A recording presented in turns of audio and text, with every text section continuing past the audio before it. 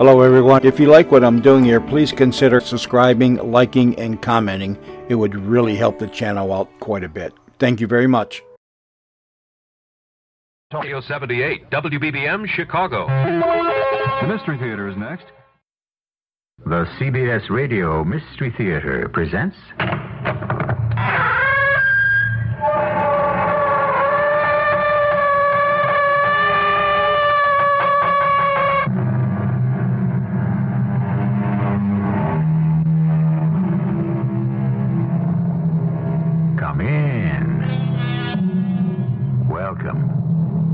Welcome. Marshall. My father, who had a great deal of wisdom, used to say that the friendship of the over-friendly man is too often like a fire in the grate, exceedingly bright to look at, but not reliable should you wish to keep warm on a really cold day. The tale we're about to unfold for you, written by the incomparable Edgar Allan Poe, is not about a friendship that cooled off, but rather about one that became too hot to handle. Well, what do you and Noah talking about, Edgar? The disappearance of Horace Kramer, Charlie. Yes, it is puzzling. I can't for the life of me understand what's keeping Horace this long in Boston. Do you think he's still there? Edgar thinks he never got there. What makes you say that, Noah? Edgar suspects foul play. And so do I.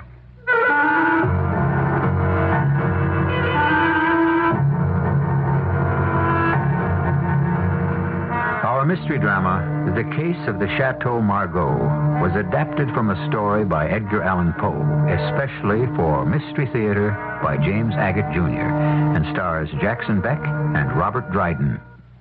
It is sponsored in part by Buick Motor Division and Contac, the 12 hour cold capsule. I'll be back shortly with Act One.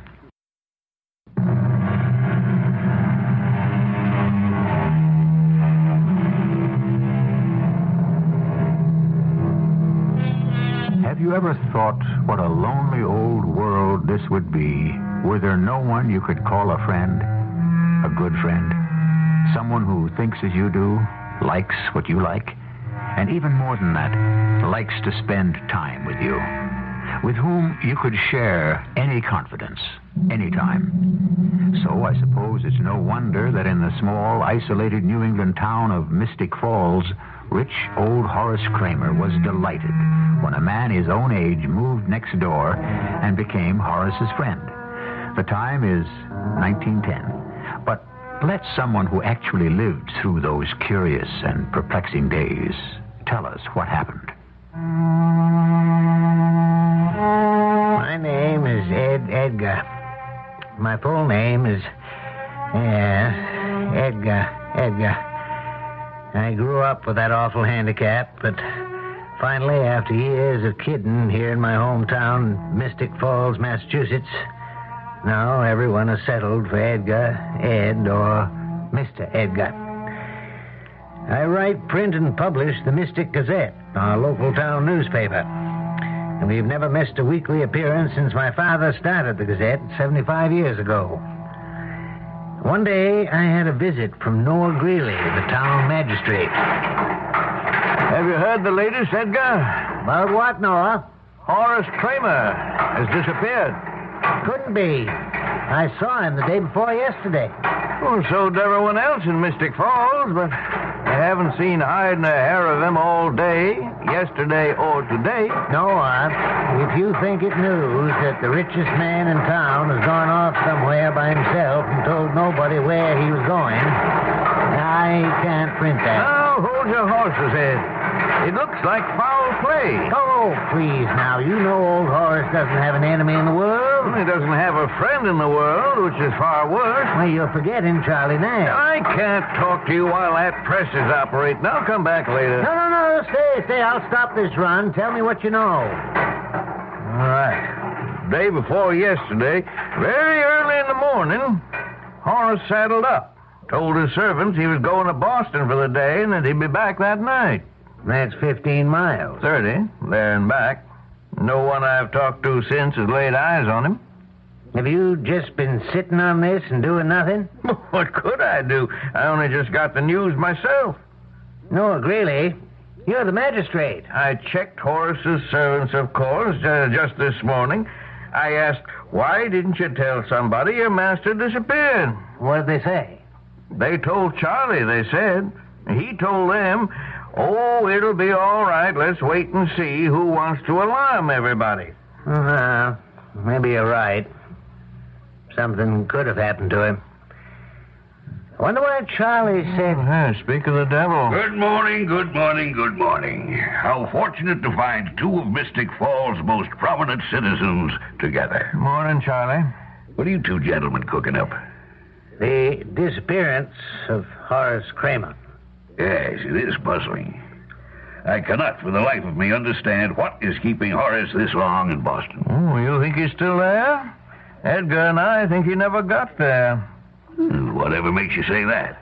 Uh, it's possible he met with foul play. I think you're both alarmists. Horace can take care of himself. He wouldn't put up with any nonsense from any highwayman. For one thing, he's too good a shot. Unless he was ambushed. Not only that, gentlemen, I happen to know he was well armed when he set out for Boston. Was carrying quite a bit of money with him to deposit. No, if you ask me, I'd say Horace is probably staying on in Boston. And any one of these days, he'll be waltzing back into town, wondering what all the fuss was about.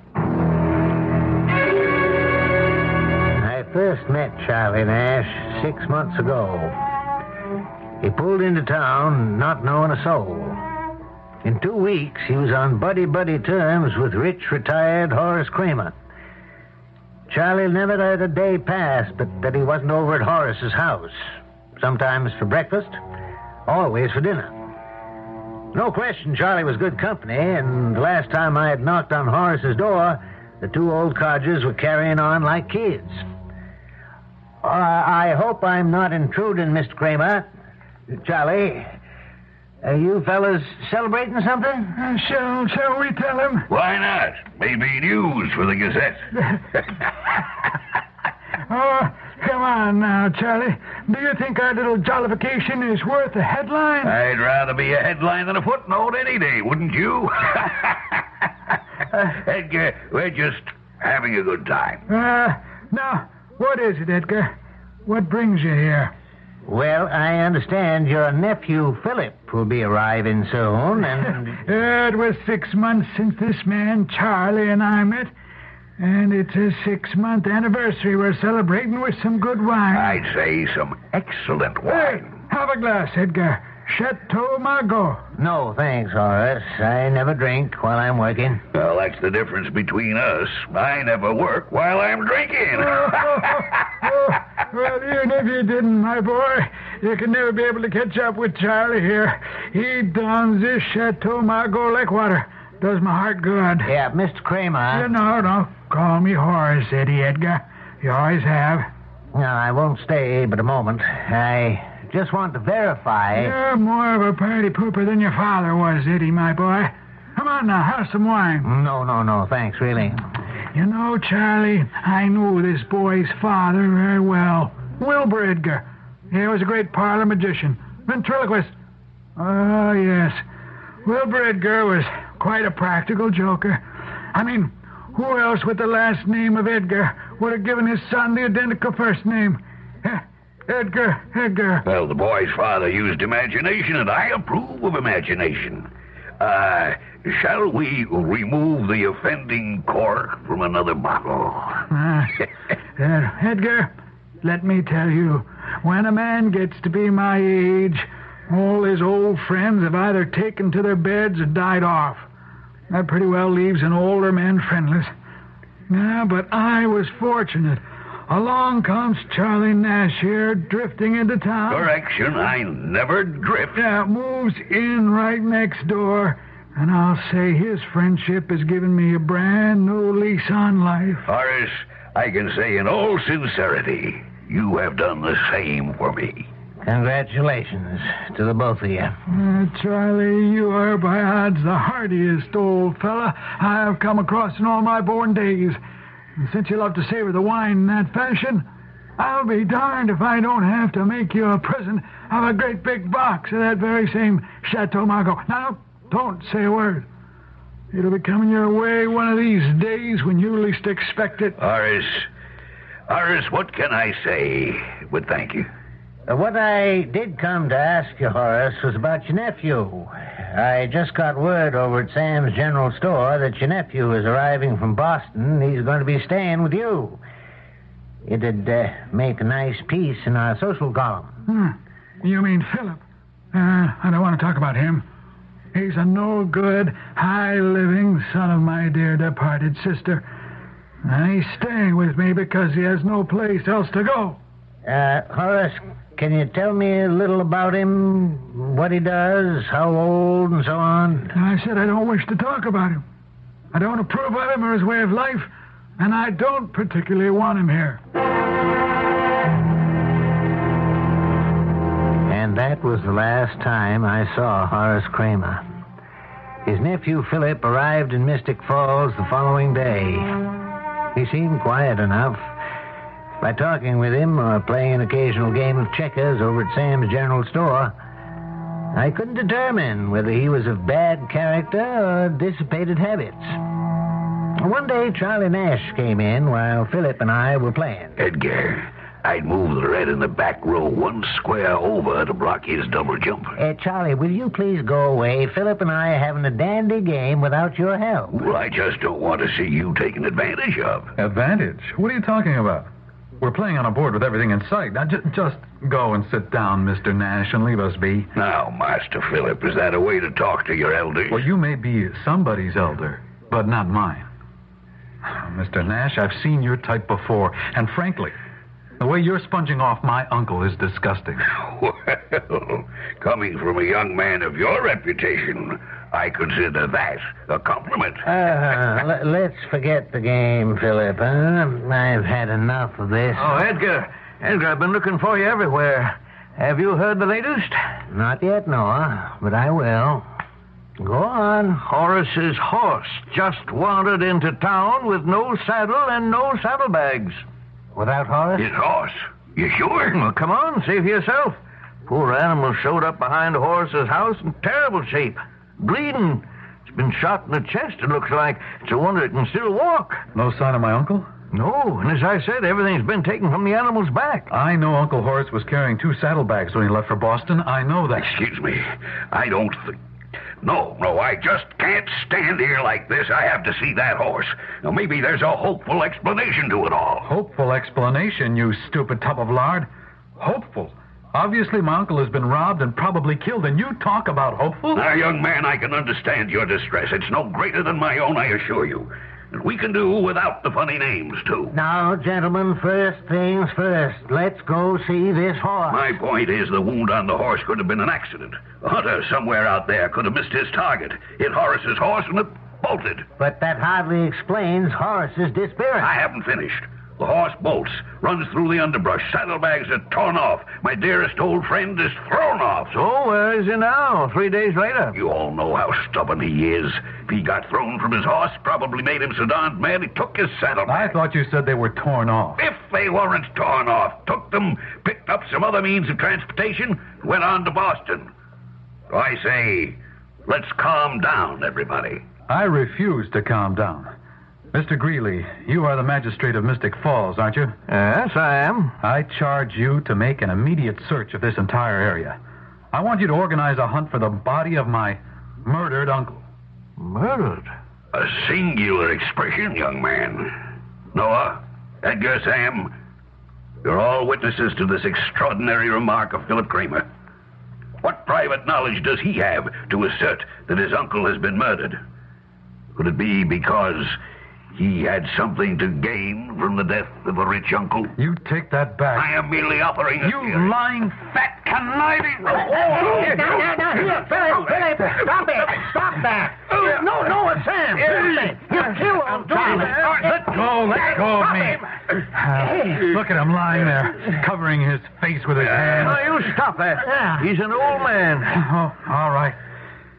I hope that's taught the lying old schemer a lesson. Uh, can I give you a hand, Charlie? Yes. Now you. You all saw that unprovoked attack. Young man, I shan't forget this. I shall not forget this as long as I live. What have we here? A young man not liked by his wealthy uncle suddenly appears in town. Shortly thereafter, the uncle disappears. What else do we know? That the uncle may have been robbed or murdered? Certainly Charlie, who claims to be the uncle's best friend, is suspicious of the young nephew. Does he know more than he is saying?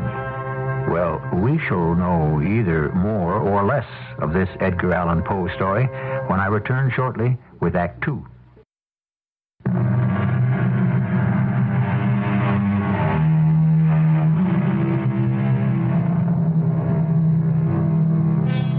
Who was it who said, Murder, though it have no tongue, will speak with most miraculous organ? Before today's mystery is solved, we shall give you the answer, and you'll be no little surprised how much this saying applies to our tale by Edgar Allan Poe. But to return to where we are, Noah Greeley, the town magistrate, organized practically everyone to search for the missing Horace Kramer. But at the town hall meeting, not everyone agreed how to go about it. Order! Order! We, uh, we're trying to conduct this town hall meeting in the proper way. Mr. Chairman, Noah, may I have the floor? Uh, go ahead, Charlie. I think we're all making darn fools of ourselves. One of these days, old Horace will show up in his own time and at his own pleasure. Talk, talk, talk. Who's going to take action? That's what I'd like to know. All of you make me sick. My uncle is lying out there somewhere. Philip! Time passes. You all talk. Philip Kramer, you are out of order. Well, I don't care if I am. We have to act and act fast. My uncle is out there somewhere. Who knows if he's still alive? Maybe sick, injured, needing help. I tell you what I'm going to do. I'm going out this very minute and look for him. I was crazy not to have done it before. Goodbye. Well, I'm uh, sorry about that young man. As to those of you who haven't met him, uh, that was Horace's nephew, Philip. A bit headstrong. Noah, I wonder if you could get some reaction, pro or con, for or against searching parties. Well, uh, what do you say, Edgar? It was your proposal. Well, could we have a show of hands? All those who feel well qualified to lead a search party in, let us say, a five mile radius, will they raise their hands? No one? Oh, oh, yes, I see one hand.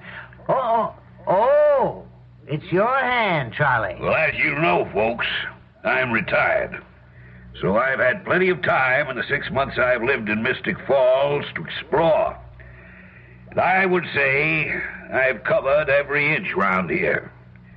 So I have had that advantage over most of you who are farming, uh, horseshoeing, or minding stores. Well, I propose that as many as would care to join us at the village green at two o'clock so that we can set forth under Charlie Nash's guidance. Charlie turned out an excellent guide. The bunch of us, at least 20, followed him through all kinds of out of the way paths, finding places none of us knew existed. The first day, we searched till it got dark, about six. But then for almost a week, from morning till night, not a trace of Horace Kramer. Until the day Charlie led us to a pond four miles from Mystic Falls. Has anybody seen Philip Kramer? Philip? Hey, is Philip back there? I'm here. Edgar, I'd like to show you something. Look down there at those horseshoe tracks. See that little depression on the heel of each shoe? I. Yes, I do. That's Uncle Horace's horse. And look here, where the brambles are broken off. It's as if something heavier than a man was dragged through here. Oh, you're right. So it does. I'd look in that pond. Heavier than a man, eh? I suggest we have this pond drained. There are enough of us with spades, we could all dig some runoffs. We'll fall too. Excellent idea.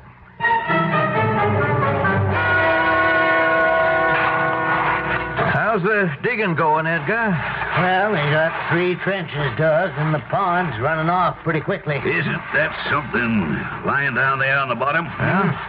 Sure, I can see the back of something. Oh, you're right, Charlie. There is something.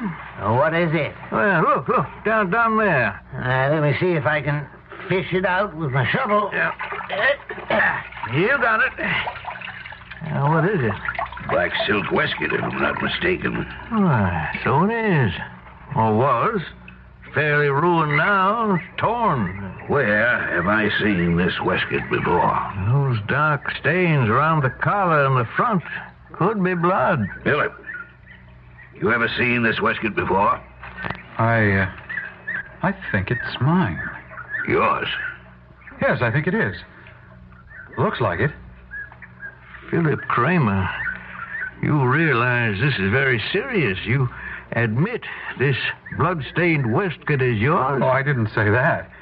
It's very like one of mine. Surely, Noah, you're not actually making an accusation because this bloody torn waistcoat, which may belong to Horace's nephew, was discovered here. Now, hold on there. We don't know that is blood. Precisely. We don't know it's blood. Or, if it is, that it's Horace Kramer's blood. Or Philip's.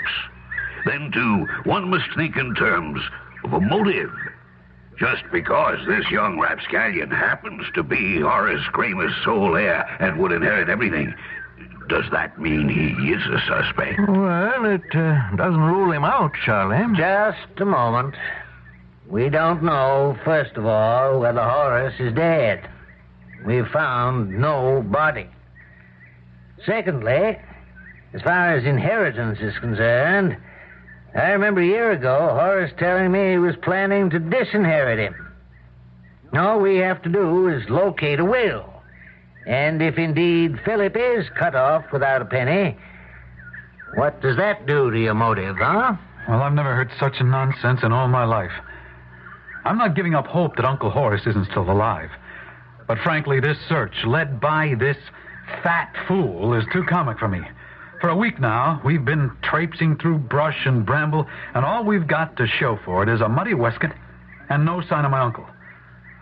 Well, I'm heading back to Mystic Falls. I've had enough. Uh, Philip, until I give you the word, I charge you not to leave Mystic Falls. Charlie! Charlie! Where you going? Just thought I saw something lying in the road up ahead. Ah. Well, what is it? What are you putting in your pocket? It's a Spanish knife. yes. There appears to be blood on the open blade, now that I look at it more closely. Now, does anybody know to whom this knife belongs? Oh, my goodness. Charlie, you know to whom it belongs? Yeah, yes, I, I, I might. But, uh, I am not the one to identify it. Is Philip still here? Yes, of course I'm still here. What is it? Is uh, this knife, this Spanish knife, yours? I. I. Philip? Is this knife yours? I'm afraid there are initials on it, too. Oh, yes, so there are. P.C. Philip Kramer. Are those your initials? y- Yes. So this is your knife. Yes, it is. Philip, can you explain why your knife is lying out here on the road? No, no, I can't. Philip Kramer, I arrest you on suspicion of the murder of your uncle, Horace Kramer.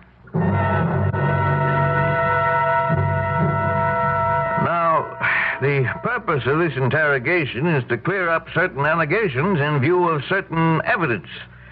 Uh, I understand that you, Philip Kramer, do have something to add with regard to the identification of the waistcoat found at the bottom of the pond. It is mine. It must be mine. I've examined it more closely, and I noticed one button is missing at the bottom, which is proof to me that it is my waistcoat. Ah, so noted. Would you like to tell us, Philip, where you were the morning uh, your Uncle Horace left for Boston? Glad to. I was out with my rifle deer stalking. Were you anywhere in the vicinity of the pond in which your waistcoat was found? I'd like to correct a misapprehension. Huh? I said that waistcoat was mine, not that I was wearing it. Ah. Oh, yes. Yes, I was in that vicinity because I clearly remember noticing the tracks made by my uncle's horse. The same ones I showed you. Do you uh, realize, Mr. Kramer, what you are telling us? The waistcoat is yours. A knife that was found nearby is also yours.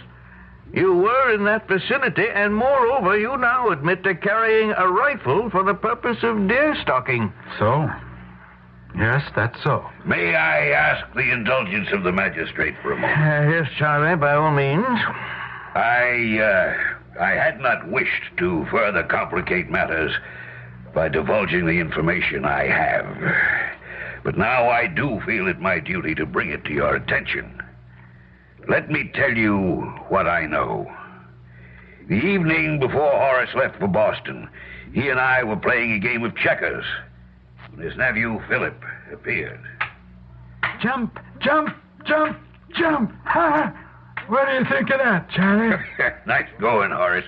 Caught me completely by surprise. Oh, it did, didn't it? Yep, I can say it in two words. Completely. Ah, Philip. Well, to what do we have the pleasure of your company this evening? It's the shank, the very shank of the evening. I'd expect you to be out dancing, carousing, gambling, or whatever it is you're uh, so noted for. What are you doing home? You don't think much of me, Uncle, do you? And I never asked more of you than a place to sleep. Believe me, I don't enjoy being dependent on your favors. Well, just in case you're harboring the hope that because you are my only living relative, Philip, let me uh, let me assure you, I am planning to revise my will, and your name will not be mentioned in it. I'm sorry to hear that, Uncle. Aye, I bet you are. I've threatened such action before, but now, knowing you better, tomorrow I shall actually take steps. Yes. Tomorrow morning I'm off to Boston with two tasks. One, to make a cash deposit at the Farmers and Mechanics Bank, and two, to sign my new will. Now, if you'll be so good, kindly leave Charlie and me alone so that we can continue our checker game. Philip Kramer, you just heard Charlie Nash here recount an event that happened the night before your uncle set off for Boston. Uh, is this the truth or not? Is what the truth? Did you know your uncle was going to Boston in the morning to deposit money? Did he tell you he was about to change his will to disinherit you? Yes. Would you repeat your answer clearly, please? Yes, Uncle Horace did say that. But I still say I know nothing of his disappearance, and I did not kill him. Sorry we must leave this tale of suspicion and mystery at this very moment. Does it strike you as strange that Philip Kramer, the only person suspected of having had a hand in his uncle's disappearance, seems so very self assured? Is he feigning innocence? Hiding guilt? Or is someone else the actual guilty party? We'll be back with some of the answers shortly.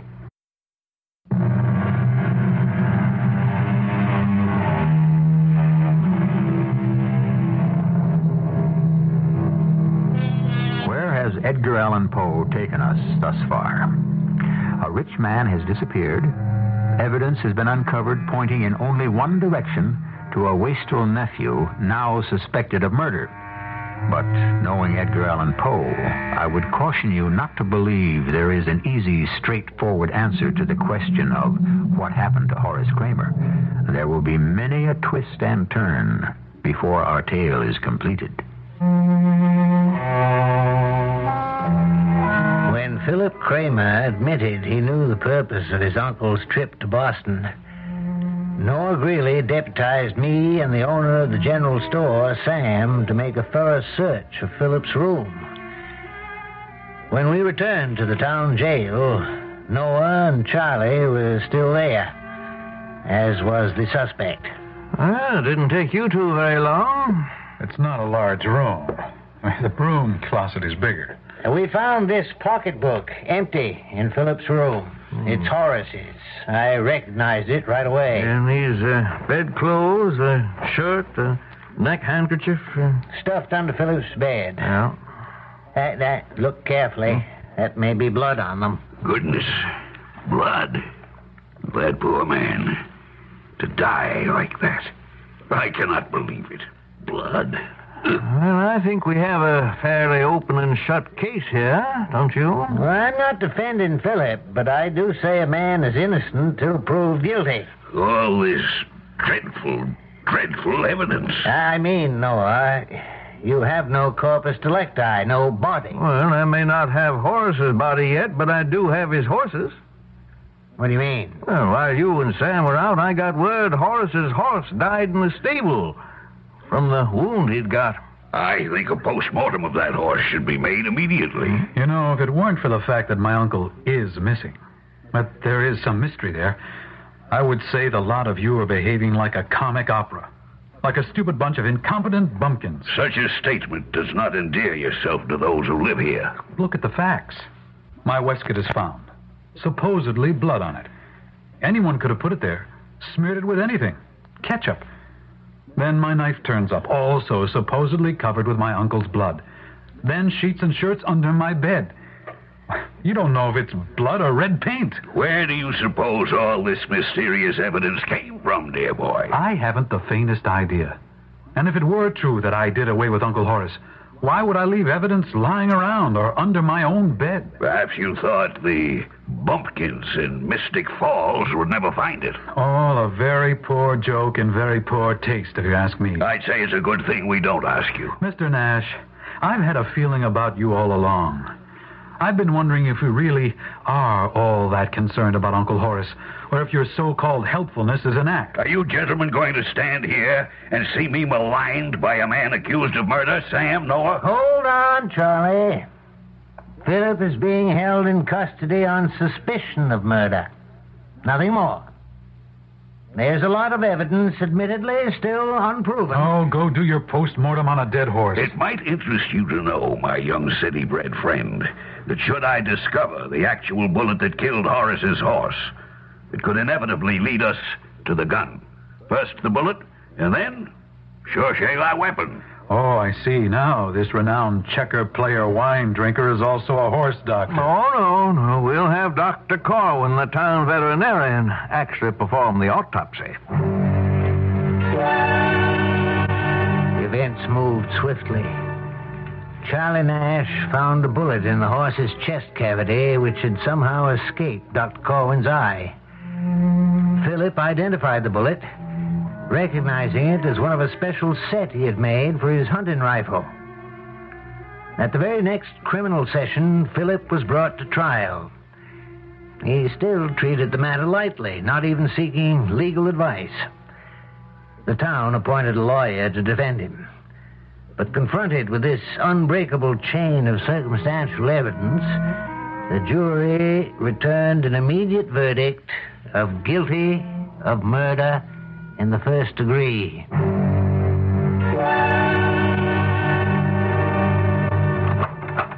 Edgar, Edgar, I have news for you. Look at this letter, my fine friend. It's what I came to show you. Go ahead, read it. Huh? Oh, uh, uh, uh, Charles Nash, Esquire. Dear Sir, in conformity with an order transmitted to our firm two months ago by Mr. Horace Kramer, we have the honor of forwarding this morning to your address a double case of Chateau Margaux, half a gross, six dozen bottles, Antelope brand. We remain, sir, your most obedient servants, and, and so forth. Well, that is news. Read what it says on the bottom. Uh, the box will reach you by wagon the Monday following the receipt of this letter. Yours, Milbracken and Company. Isn't that like dear, sweet, thoughtful old Horace? You know, we used to drink Chateau Margaux together by the quart. It was the seal of our friendship, as it were. He did once say he was going to send me a case or so. I forgot all about it. I seem to remember that. What I would like you to do, Edgar, is to put in the weekend edition of the Gazette. The news that I am extending an invitation, uh, let us call it a, a kind of open house, to all who would like to call themselves my friends. And when the case of Chateau Margaux arrives from the Millbracken people, then we'll open the pièce de résistance. Pretty close to half the town was at Charlie's on Monday. There was lots of food and drink. The case of wine didn't arrive till early evening. By that time, everyone was in a very happy mood. that is the biggest wooden crate I've ever seen. Lift it right up onto the table facing me. All right, everybody. Let's open up the case and see how far 72 bottles of Chateau Margaux will go. I can recommend it to you all. Come on, come on, somebody, get a crowbar. Well, wait a minute. I brought a big hammer, Charlie. I can pry the box open. Good thinking, Fourth Estate. Always prepared to be print-worthy.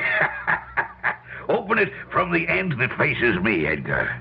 Now, a respectful silence as Mr. Edgar disinters the treasure. Made Charlie happy to give orders to be the center of all attention. This moment was his dream come true. Charlie, surrounded by friends and neighbors, all waiting for what Charlie would give them. Suddenly, the top of the huge box flew open, and from inside, there sprang up into a sitting position, facing Charlie, the bruised, bloody, nearly putrid corpse of old dead Horace Kramer. He seemed to look right at Charlie with his sightless eyes. Then, suddenly, slowly, the corpse spoke. Charlie, old friend, how could you do this to me? Having said that, the decaying corpse of Horace Kramer fell over the side of the crate, his arms sort of reaching for Charlie. Men fainted. Some ran for the doors, but slowly, as if magnetized, everyone came back to watch Charlie. How did you get back, Horace? I know you were dead. Were you watching me all the time? Did you see me following you down the road when you got near the pool? Were you alive or dead? They left you for dead. I had bad luck with your horse. I shot him. He wouldn't die. Would you believe it, Horace? I pushed him clean into the pool to drown. And the next day, he walked right back into town. It wasn't easy to cover my tracks. I had to plant all kinds of evidence so my friends would think it was your nephew. Horace, it wasn't easy at all.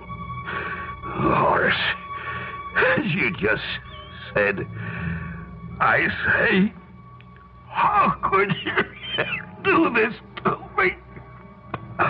Oh, my heart. Charlie, he's fallen on the table. Charlie! My lord. Charlie is dead. As dead as Horace. Philip, you're free. The body of your uncle was delivered to Charlie's house in a crate of wine. And he, your uncle, accused Charlie of killing him. What, what, what? Wait, wait, not so fast. Anyway, Charlie confessed. Uh, I'm afraid I had a hand in Oh, this. I thought you might have, Edgar. You were the only one who never believed the evidence. I wasn't that positive Philip wasn't guilty, but I was pretty sure Charlie wasn't that innocent. From the beginning? Well, he was too helpful. That made me suspicious. Didn't you think it was strange, Noah, that it was always Charlie who discovered things? Where was I with my eyes closed? First of all, Philip was an outsider. Secondly, almost everyone in town liked Charlie, so why should you suspect him? Well, for me, he went just one step too far. What did he do? The autopsy of Horace's horse. Even with Dr. Corwin right there, it was Charlie who found the bullet. But he palmed that bullet. That bullet never went near the horse. There was a bullet hole where a shot had gone in, but another where it had gone out. No. It couldn't have been Philip's gun that killed the animal. Oh, why didn't you tell me? We could have held up the trial. No, I, I couldn't stop you. Besides, I had to find the body. Now, you remember how it was Charlie who led the search party? So I searched myself, and wherever he had gone, I went in the opposite direction. Well, eventually, I found an old dry well, very well concealed. And Horace was down there, at the bottom, neck broken. Terrible sight. I wrote that letter from the wine merchants and put him in the crate. Ingenious. But horrible. Well, how in the world did you get Horace to speak? That's a talent I've had since I was a boy. My father taught me voice throwing, ventriloquism. Charlie, old friend, how could you do this to me?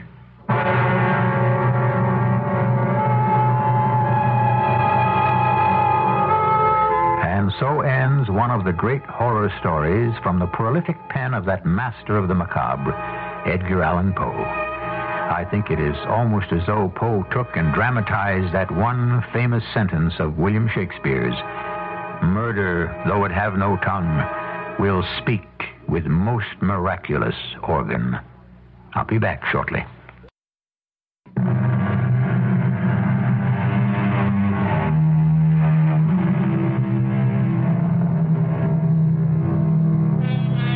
Said that Edgar Allan Poe is the founder of the modern detective story. But I think he goes far beyond that, bringing together the strangely imaginative and the grotesque. A torn waistcoat, a bloody knife, a bullet. On these few objects, Poe hangs an entire plot of villainy and bizarre retribution. Man has always been fascinated by objects. Writing about their criminal use is called detective work. Studying and analyzing objects is called science. But one doesn't have to be a scientist or a PhD to enjoy a good mystery. Our cast included Robert Dryden, Jackson Beck, William Griffis, and Lloyd Battista. The entire production was under the direction of Himan Brown. And now, a preview of our next tale. We had the compartment to ourselves and a batch of newspapers Holmes had brought along with him. Uh, As we settled down for the journey, Holmes asked, Have you heard anything about the case? well, I, I- I haven't seen a paper for some days. Uh, it's just as well.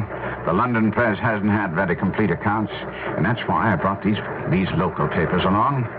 I've already read through them, and I gather it's one of those simple cases which are so extremely difficult. Well, well, isn't that paradoxical? Of course, and profoundly true. Singularity is almost invariably a clue.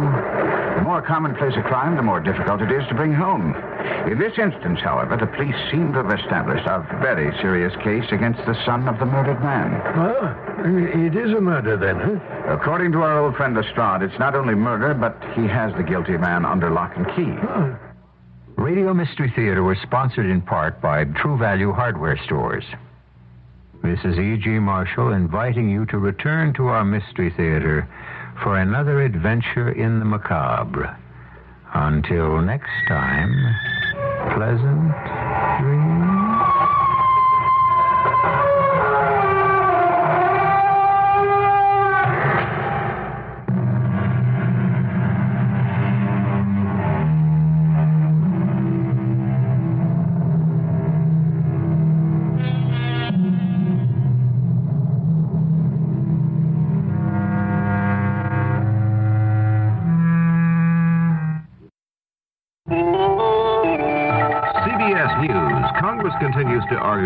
issue of federal funding for abortions, holding up approval of an important money bill.